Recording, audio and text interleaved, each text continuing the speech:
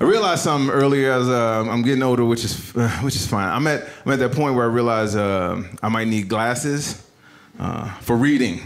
You know what I'm saying? So yeah, so I had to make the hard decision, you know, to uh, stop reading. yeah, I got colors and shapes down. I'm pretty good. I have the basics. Good. I'm cool with getting older. I knew I was getting older when I started rooting against the kids in scary movies. Some of y'all know what I'm talking about, right? Remember how you watch Friday the 13th, Halloween, teenagers do something stupid or rebellious, but you still want them to make it, you want them to live. You're like, run in the barn, he's coming, run in the barn. Now I'm like, your mom and dad told you not to leave the house.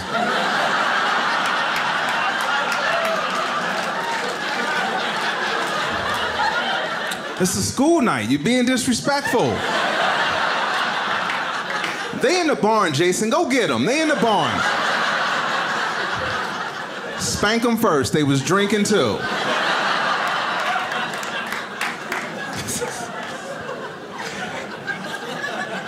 I'm cool with it. I'm cool with it. But the, the downside of getting older is that you, you get a point you get to a point where you realize your mind and body aren't always on the same page.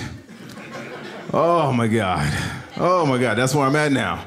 You know what I'm saying? And that's a hard place for dudes to be. I was playing basketball, went to block a shot, because my mind said, Ty, go block that shot. You can block that shot. Went to block the shot, my body was like, hey! Where you going?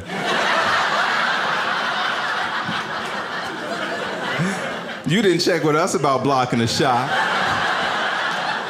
What we can do is let you twist the ankle and uh, hyperventilate. We got you covered on that.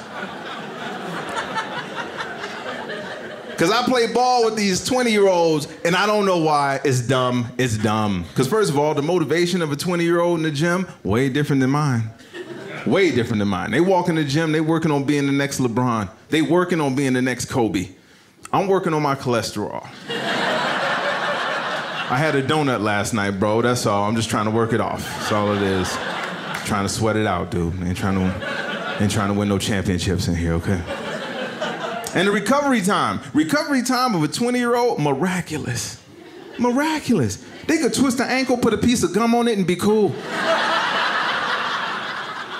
One kid last week broke his arm, broke his arm, ripped it off, grew another one.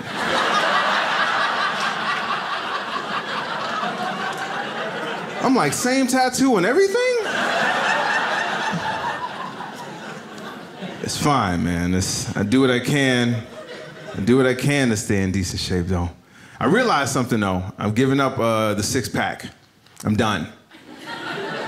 I fought the fight, ladies. I did. I did everything they said you should do. Not eating after 8 o'clock. Tried it. That's impossible. That's an impossible request. But I tried it. Pilates. I tried Pilates, bro. Mm hmm. Farted in my own face.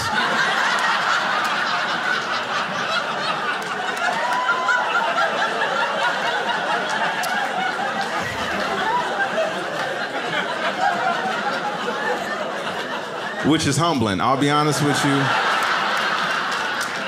It changes you as a person, you know? Part of me died that day. Uh,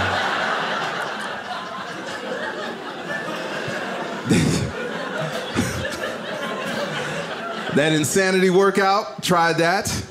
Was clinically dead for three minutes.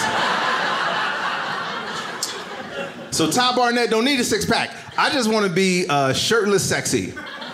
That's all I'm going for now. Shirtless sexy. Fellas, that's where you can take your shirt off and, uh, and your lady's not uh, disgusted.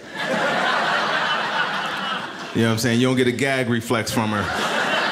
You know. She's not like, oh, I should have made better choices. Those some personal laughs right there. Right. I'm saying it's like candles lit, music's playing. You're like, she's like,